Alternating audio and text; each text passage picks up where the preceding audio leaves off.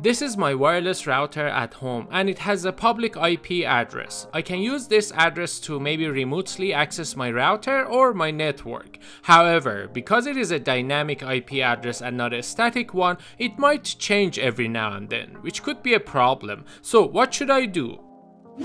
I can actually set up a dynamic DNS or DDNS on the wireless router, which is gonna assign a fixed domain name address to the public IP address. This way, even if the IP address is changed, the DDNS address will remain the same, and I can use that instead.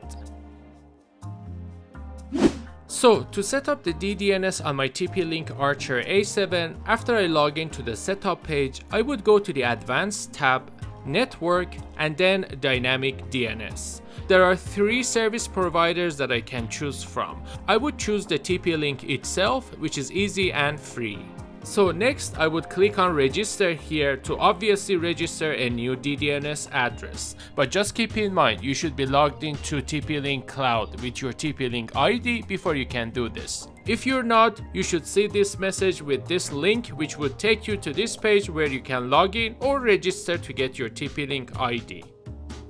Now here I can select my domain name and save the page. This is my DDNS address which is bound to my public IP address. I can also unbind it or delete it if I need to.